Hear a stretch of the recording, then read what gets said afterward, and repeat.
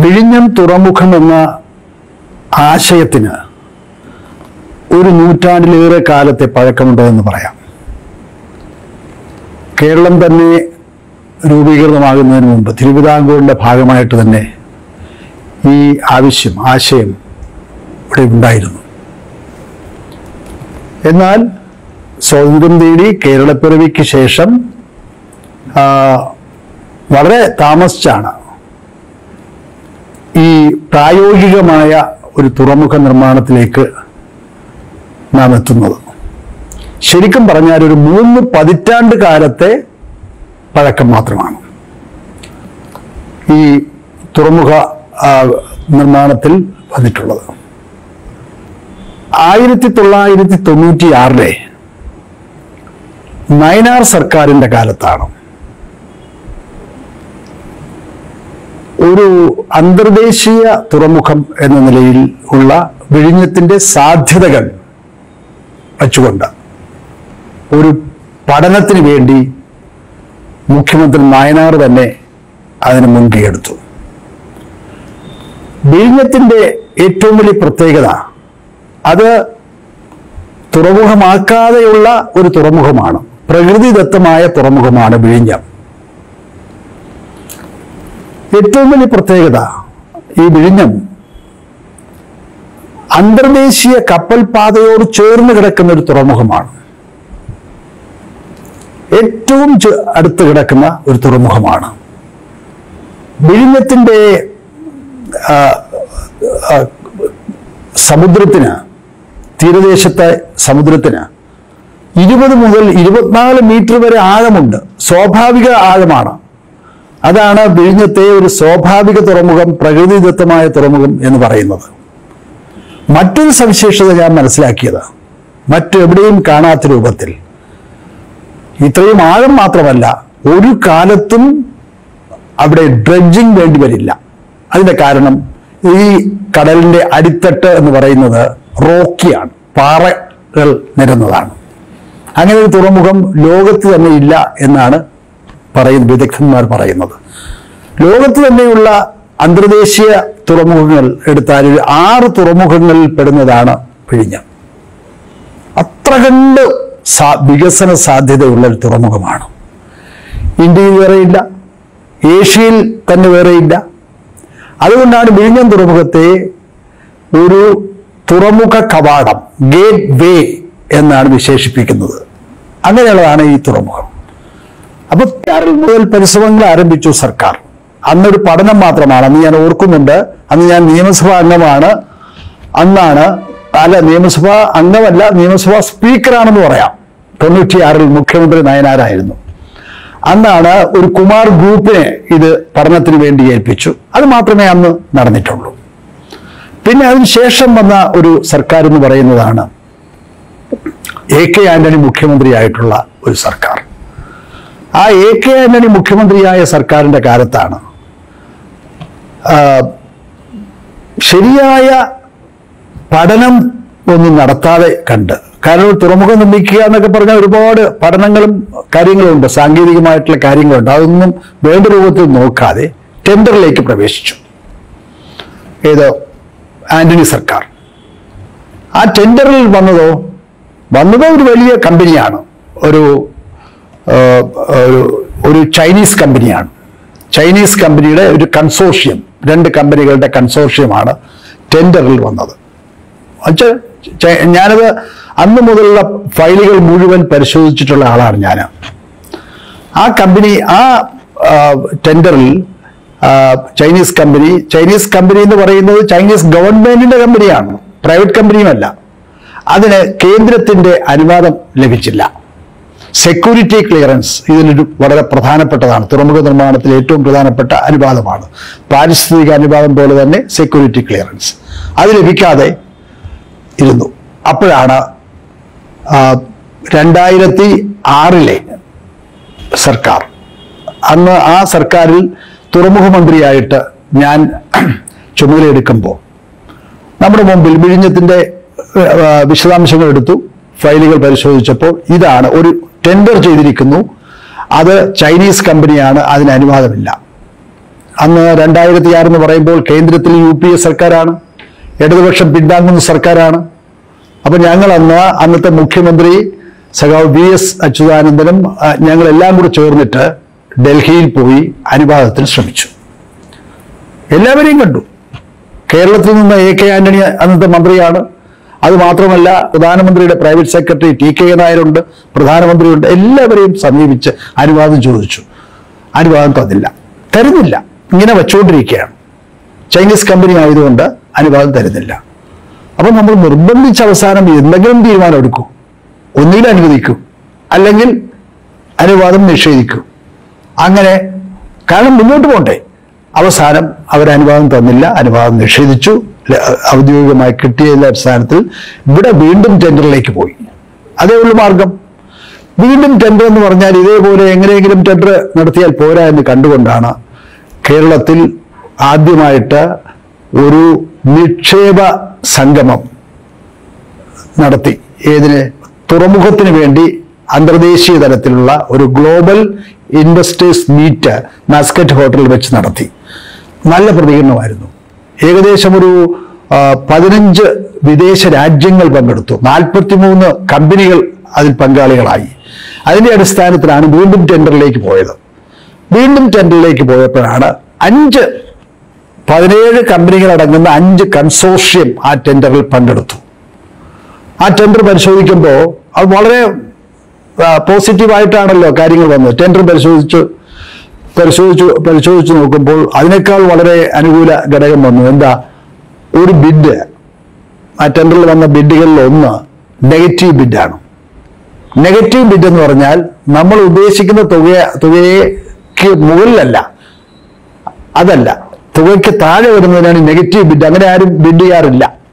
അങ്ങനെ ഒരു കമ്പനി വന്നു. അത് ആന്ധ്രാപ്രദേശിലെ ഒരു കമ്പനിയാണ് ലാൻകോ കൊണ്ടപ്പള്ളി എന്ന് പറയുന്ന വലിയൊരു കമ്പനിയാണ് വന്നത്.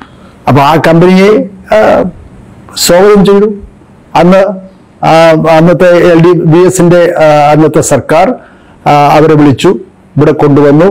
അവർക്ക് ഇവിടെ വെച്ച് തന്നെ സമ്മതി പത്രം വെച്ചാൽ ലെറ്റർ ഓഫ് ഇന്റന്റ് അത് കൊടുത്താൽ ടെൻഡറായി. ടെൻഡറിൽ അവർ വന്നത് മാത്രമല്ല അവർക്ക് അനുവദിച്ചു കൊടുത്തു. അവരെ ഏൽപ്പിച്ചു.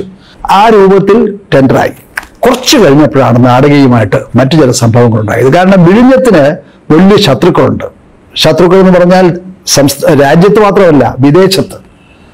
അന്തർദേശീയ ലോബികളുണ്ട്.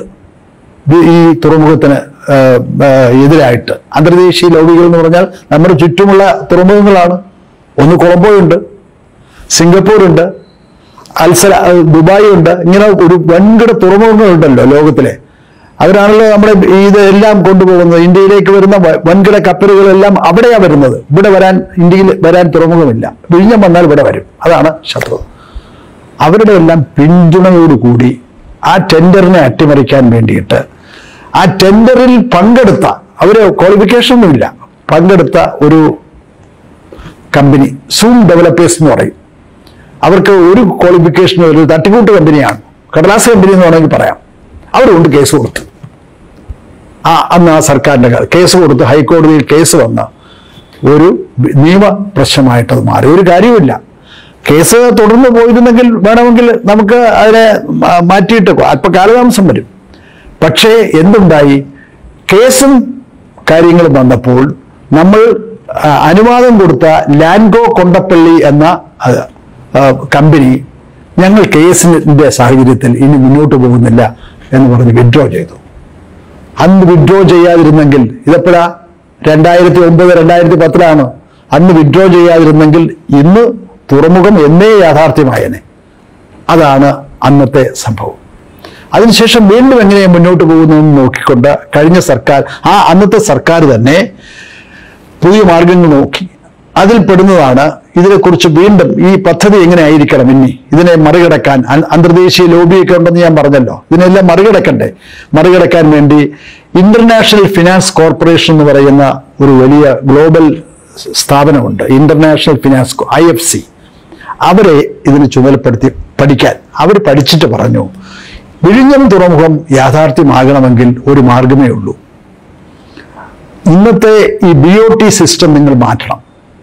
മാറ്റിയിട്ട് അടിസ്ഥാന സൗകര്യങ്ങൾ ഉൾപ്പെടെ തുറമുഖ നിർമ്മാണം സർക്കാർ ഏറ്റെടുക്കണം. രണ്ട് അതിന്റെ നടത്തിപ്പ് അത് നമുക്കൊന്നും പറ്റുന്നതല്ല. അത് ടെൻഡർ ചെയ്ത് സുതാര്യമായിട്ട് ഗ്ലോബൽ ടെൻഡറിൽ കൂടി കമ്പനി ഏൽപ്പിക്കണം. അങ്ങനെയാണ് ആ സർക്കാരിന്റെ കാലത്ത് ഇത് ആരംഭിച്ച് ഇതിന്റെ മറ്റു പ്രവർത്തനങ്ങളിലേക്ക് കടന്നത്. അതിനുവേണ്ടി സംസ്ഥാന സർക്കാർ അന്നത്തെ ബഡ്ജറ്റിൽ തന്നെ അന്ന് ഡോക്ടർ തോമസ് ഐസക്കാണ് ധനകാര്യ മന്ത്രി നാനൂറ്റി അൻപത് കോടി രൂപ ഒറ്റ ബഡ്ജറ്റിൽ വെച്ചു. അപ്പൊ തുറമുഖത്തിന് എന്താ വേണ്ടത്? അവിടെ ആദ്യം വേണ്ടത് അതിന് സ്ഥലമെടുക്കണം സ്ഥലമെടുക്കാൻ തീരുമാനിച്ചു. സ്ഥലമെടുക്കുന്നതിലൊക്കെ കുറച്ചൊരു വിവാദങ്ങൾ വന്നുണ്ടായി. അത് എല്ലാത്തിലും ഉണ്ടാവുമല്ലോ. പക്ഷേ നൂറ്റി ഇരുപത് ഹെക്ടർ ഇരുന്നൂറ്റി അൻപത് ഏക്കർ സ്ഥലം അന്നെടുത്തു ആ സർക്കാരിന്റെ കാലത്ത്. അങ്ങനെ സ്ഥലമെടുക്കുക. അത് കഴിഞ്ഞ് റോഡ് കണക്ടിവിറ്റി വേണം.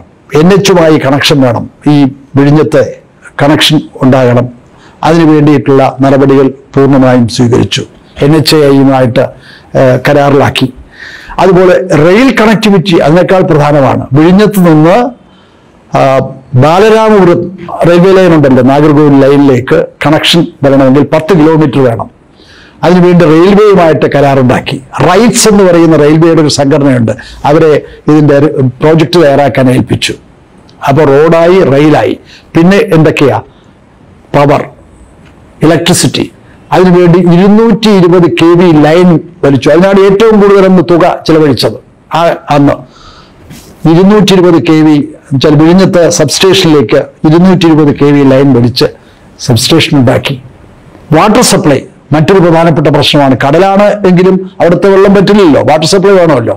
അതിനുവേണ്ടി വെള്ളായണി കായൽ നിന്ന് വെള്ളം കൊണ്ടുവന്ന് ശുദ്ധീകരിച്ച് ഓവർഹെഡ് ടാങ്ക് വിഴിഞ്ഞത്ത് കെട്ടി പൊക്കി വാട്ടർ സപ്ലൈ ഇങ്ങനെയുള്ള എല്ലാ അടിസ്ഥാന സൗകര്യങ്ങളും സ്ഥലവും എല്ലാം ഏറ്റെടുത്തുകൊണ്ട് വിഴിഞ്ഞത്തിന്റെ നിർമ്മാണം രണ്ട് ഘട്ടങ്ങളാക്കി. ഒന്ന് ഫസ്റ്റ് ഫേസ് രണ്ടാമത് അതിന്റെ നടത്തിപ്പ് എന്ന നിലയിൽ ടെൻഡറിലേക്ക് പോവുക. അങ്ങനെ ഫസ്റ്റ് ഫേസിന്റെ പ്രവർത്തനങ്ങളെല്ലാം രണ്ടായിരത്തി പത്ത് ഓഗസ്റ്റ് പതിനൊന്ന് ഞാൻ കൃത്യമായി ഓർക്കുന്നുണ്ട്. രണ്ടായിരത്തി പത്ത് ഓഗസ്റ്റ് പതിനൊന്നിന് അന്നത്തെ മുഖ്യമന്ത്രി അന്നത്തെ അന്നത്തെ മുഖ്യമന്ത്രി വി എസ് അച്യുതാനന്ദനാണ്. അന്നത്തെ പ്രതിപക്ഷ നേതാവ് ഉമ്മൻചാണ്ടിയാണ്. അന്നത്തെ Kovalam M L A Congress നേതാവായിട്ടുള്ള George Mercier അവരുടെ എല്ലാവരുടെയും സാന്നിധ്യത്തിൽ ആ നിർമ്മാണം നിർവഹിച്ചു. ഉദ്ഘാടനം നടത്തി. ഇതാണ് ആ സർക്കാരിന്റെ കാര്യത്തിൽ പിന്നെ ആ സർക്കാരിന്റെ കാലാവധി ഇല്ല. പത്ത് അവസാനമാണേ. ഓഗസ്റ്റ് അല്ലേ? പതിനൊന്നിൽ ഇലക്ഷനായി ആദ്യം. പോയി. പിന്നെ വന്ന സർക്കാർ. കുറെ കാലം നിശബ്ദമായിരുന്നു ഉമ്മൻചാണ്ടി സർക്കാർ. വേണ്ട നടപടികളൊന്നും തന്നെ അക്കാര്യത്തിൽ സ്വീകരിച്ചില്ല. പിന്നെ ഒന്ന് രണ്ട് വർഷം കഴിഞ്ഞതിന് ശേഷമാണ് അനക്കമുണ്ടായത്. നമ്മൾ കൊണ്ടുവന്ന ഈ ലാൻഡ് ലോഡ് പോർട്ട് എന്ന ഈ പദ്ധതി ഫ്രീസ് ചെയ്തു. ലാൻഡ് അല്ല പി പി പിയും അല്ല എന്തൊക്കെ ആണെന്ന് ഒരു പിടിയുമില്ല. അങ്ങനെ വലിയ ഒരു ആശയക്കുഴപ്പമുണ്ടായി വലിയ പ്രശ്നങ്ങളുണ്ടായി അതിനുവേണ്ടി മുറവിളി ഉണ്ടായി. അങ്ങനെയാണ് അന്നത്തെ C P I M secretary ആയിരുന്നു ഇന്നത്തെ മുഖ്യമന്ത്രി പിണറായി വിജയൻ. അദ്ദേഹത്തിന്റെ നേതൃത്വത്തിൽ തന്നെ തുറമുഖത്തിന് വേണ്ടി ഇവിടെ പ്രക്ഷോഭങ്ങൾ നടന്നു. വിഴിഞ്ഞത്ത് നിന്ന് സെക്രട്ടേറിയറ്റ് വരെ മനുഷ്യച്ചങ്ങൾ തീർത്തു. ഇതൊക്കെ ആ കാലത്ത് നടന്നതാണ്. അങ്ങനെ മുറവിളി കൂട്ടി വലിയ പ്രക്ഷോഭങ്ങളും കാര്യങ്ങളും ഒക്കെ വന്നതിന്റെ ഇവിടെയാണെങ്കിലോ എൽ ഡി എഫിന്റെ നേതൃത്വത്തിൽ സി പി ഐ എമ്മിന്റെ നേതൃത്വത്തിൽ ഒരു വർഷക്കാലം നീണ്ടുനിന്ന സമരം ഇവിടെ സെക്രട്ടറി ഇവിടെ തിരുവനന്തപുരത്ത് പാളയം രക്സാക്ഷി മണ്ഡപത്തിൽ നടന്നു. ഒരു വർഷം എന്ന് പറഞ്ഞാൽ കഴിഞ്ഞ കർഷക സമരം പോലെ അന്ന് ഒരു വർഷമാണല്ലോ അതുപോലെ ഒരു സമരമായിരുന്നു നടന്നത്. ഇങ്ങനെ വലിയ കൊണ്ടുവന്നതിന്റെ ഫലമായിട്ട് എന്താ ചെയ്തത് ചെയ്യേണ്ട രൂപത്തിലല്ല ചെയ്യുന്നത്. നാടകീയമായിട്ട് അതിനെ ടെൻഡറിലേക്ക് കൊണ്ടുപോയി. അതാണ് ഇന്നത്തെ പ്രോജക്റ്റ് അദാനി പോർട്ട് എന്ന് പറയുന്ന അദാനി കമ്പനിക്ക് കൊടുത്തു. കൊടുത്തതിൽ പ്രായ വലിയ എതിർപ്പുകൾ അന്നുണ്ടായി ഏത്? തുറമുഖം വരണം. പക്ഷേ സംസ്ഥാനത്തിന്റെ താല്പര്യങ്ങളെല്ലാം അടിയറ വെച്ചുകൊണ്ടുള്ള ടെൻഡറായിരുന്നു അത്. സംസ്ഥാന താല്പര്യം എന്ന് പറഞ്ഞാൽ അതിന്റെ എല്ലാം തുറമുഖം നിർമ്മിക്കേണ്ടത് ഫലത്തിൽ സംസ്ഥാന സർക്കാർ തന്നെയാണ്. നടത്തിപ്പ് മാത്രമാണ് അവർക്ക് കൊടുക്കുക. കൊടുത്തുവോ തുറമുഖം പി പി പിയിൽ കൊടുക്കുമ്പോൾ അതിന് ഒരു ഒരു ഒരു കുറച്ച് കാലം അവർക്ക് തന്നെ വിട്ടുകൊടുക്കും. പിന്നീടാണ് തിരിച്ചു കിട്ടുക. അതിന് കൺസെഷൻ പീരീഡ് എന്ന് പറയും. ഇന്ത്യയിൽ അങ്ങനെ ഉള്ളത് ഒരു പരമാവധി മുപ്പത് വർഷമാണ്. മുപ്പത് വർഷം കഴിഞ്ഞാൽ സ്റ്റേറ്റിന് കിട്ടും. എന്നാൽ എന്താ ചെയ്യുക മുപ്പത് വർഷം ആദ്യം കൊടുക്കുകയും അത് കഴിഞ്ഞ് വീണ്ടും മുപ്പത് വർഷം നീട്ടിക്കൊടുക്കാനും വേണ്ടിയുള്ള ഒരു കരാറാണ് ഉമ്മൻചാണ്ടി സർക്കാർ അദാനി ഗ്രൂപ്പുമായിട്ട് ഉണ്ടാക്കിയത്. ഒരു പതിനഞ്ച് വർഷക്കാലം അതിൽ നിന്ന് നമുക്ക് ഒരു വരുമാനവുമില്ല. ആദ്യത്തെ പതിനഞ്ച് വർഷക്കാലം. ചോദിക്കാനേ പാടില്ല. ഈ പോട്ട് വന്നാൽ. പിന്നെ ഒരു പതിനഞ്ച് വർഷക്കാലം ലാഭത്തിന്റെ ഒരു ശതമാനം മാത്രമാണ്. ഈ രൂപത്തിൽ സംസ്ഥാനത്തിന്റെ താല്പര്യം ഹനിച്ചുകൊണ്ട് എന്നാലും തുറമുഖം യാഥാർത്ഥ്യമാവുക എന്നത് വളരെ പ്രധാനം. ഉമ്മൻചാണ്ടി സർക്കാർ ടെൻഡറിലേക്ക് വന്നു എന്നത് മാത്രമേ ഉള്ളൂ. അത് കഴിഞ്ഞ് അതിന്റെ നിർമ്മാണം ഇപ്പോഴാണ് അതിനുശേഷമാണ് രണ്ടായിരത്തി പതിനഞ്ചിലാണ് പതിനാറ് മുതൽ എൽ ഡി എഫ് സർക്കാർ പിണറായി സർക്കാർ അധികാരത്തിൽ വന്നു. അധികാരത്തിൽ വന്നതിന് ശേഷമാണ് ഈ പ്രവർത്തനങ്ങൾ ഈ രൂപത്തിൽ ആയത്. ഈ ആ സർക്കാരിന് നാല് വർഷം കൊണ്ട് പൂർത്തീകരിക്കേണ്ട പദ്ധതിയായിരുന്നു. പക്ഷേ എന്താ സംഭവിച്ചത്? പ്രതികൂലമായ സാഹചര്യങ്ങൾ വന്നു. രണ്ട് വർഷം കോവിഡായി. ഒരു വർഷം മഹാമാരി എന്ന് വെച്ചാൽ പ്രളയമായി. അങ്ങനെ മൂന്ന് വർഷം പോയല്ലോ. ഇതൊക്കെ മറികടന്നുകൊണ്ടാണ് ഈ സർക്കാർ. വാസ്തവത്തിൽ ഈ സർക്കാർ ആയതുകൊണ്ട് മാത്രമാണ് ഈ സർക്കാരിന്റെ നിശ്ചയദാർഢ്യം കൊണ്ട് മാത്രമാണ് ഈ രൂപത്തിൽ ഇത് വിജയിച്ചത്. കാരണം ഈ സർക്കാരിന്റെ കാലത്ത് നടക്കില്ല എന്ന് എഴുതി തള്ളിയ പദ്ധതികൾ നടന്നിട്ടുണ്ട്. അതിന്റെ അനുഭവങ്ങൾ നമുക്കുണ്ട്. ഉദാഹരണം ഗെയിൽ പൈപ്പ്. ഈ സർക്കാരിന്റെ കാലത്ത് പിണറായി സർക്കാരിന്റെ കാലത്ത് നടന്നതാണ് ഈ നാഷണൽ ഹൈവേ എൻ എച്ച് അറുപത്തിയാറ് ഇപ്പോൾ കാസർഗോഡ് മുതൽ തിരുവനന്തപുരം വരെ നടക്കുന്നുണ്ട്. അതുപോലെ പല വികസന പദ്ധതികളും തീരദേശ റോഡ് മലയോര ഹൈവേ ദേശീയ ജലപാത ഇങ്ങനെ ഒട്ടേറെ വികസനങ്ങൾ ഇപ്പോൾ നടക്കില്ല എന്ന് പറഞ്ഞിരുന്നത് നടക്കുന്നുണ്ട്. അതിന്റെ ഭാഗമായിട്ടാണ് വിഴിഞ്ഞം പദ്ധതിയും ഏറെക്കുറെ പൂർണമായിട്ട് ഞാൻ പറയുന്നില്ല. സമയബന്ധിതമായി ഇപ്പോൾ ഏറ്റെടുക്കാനും അത് വിജയത്തിലേക്ക് അതിന് തുടക്കം കുറിക്കാനും സാധിച്ചത് എന്നതാണ് യാഥാർത്ഥ്യം. ഇനിയും ബാക്കിയുണ്ട്. ബാക്കിയുള്ള കാര്യങ്ങളിലും ജനങ്ങൾക്ക് വിശ്വാസമുണ്ട്. തീർച്ചയായിട്ടും ഇതൊരു ഏറ്റവും വലിയ വികസനമായിട്ട്. ഞാൻ നേരത്തെ സൂചിപ്പിച്ചു ഇത് സാധാരണ തുറമുഖമല്ല. ഇന്ത്യയിലെ തുറമുഖങ്ങളുടെ മദറാണ്. മദർ പോർട്ട് എന്നാണ് ഇതിനെക്കുറിച്ച് പറയുന്നത്. അങ്ങനെയുള്ള തുറമുഖമായിട്ട് ഇന്ത്യയുടെയും ഏഷ്യയുടെയും കവാട തുറമുഖമായിട്ട് ഇത് മാറുക. രാജ്യ കേരളത്തെ സംബന്ധിച്ച് ഒരു സ്വപ്ന പദ്ധതി എന്ന് വാക്കുകൊണ്ട് പറഞ്ഞ് അവസാനിപ്പിക്കാൻ കഴിയുന്നതല്ല. സ്വപ്ന പദ്ധതിയാണ് അതാണ് യാഥാർത്ഥ്യമാകുന്നത്. അതാണ് വസ്തുത എന്ന് പറയുന്നത്. അതിൽ ഉള്ള ജനങ്ങളുടെ ആഹ്ലാദമാണ് ഈ വരുന്ന ദിവസങ്ങളിൽ നാം കണ്ടുകൊണ്ടിരിക്കുന്നത്.